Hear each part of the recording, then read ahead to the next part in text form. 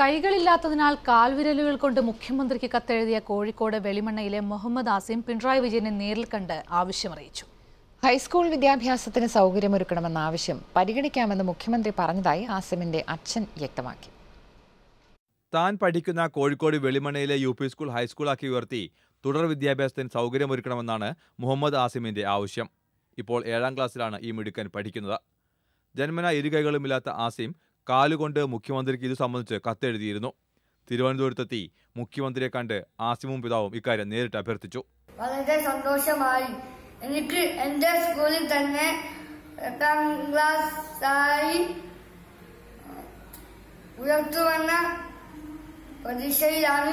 ചൊവ്വാഴ്ച രാവിലെ മുഖ്യമന്ത്രിയുടെ ഓഫീസിലായിരുന്നു കൂടിക്കാഴ്ച.